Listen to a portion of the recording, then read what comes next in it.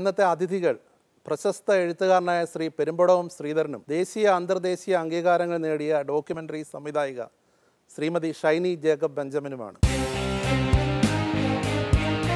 ലോകത്തിലെ ഏറ്റവും വലിയ എഴുത്തുകാരൻ ആരാണെന്ന് എന്നോട് ചോദിച്ചാൽ അന്ന് ഇന്നും എനിക്കൊരൊറ്റ ഉത്തരവേ ഉള്ളൂ അത് ദസ്തേവ്സ്കി എന്നാണ്. കാത്തിരിക്കാൻ ഞാൻ തയ്യാറാണ്.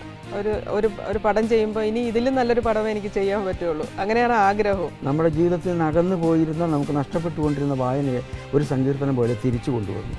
ഇതിന് കണക്ക് വെച്ച് പറയാൻ പറ്റും.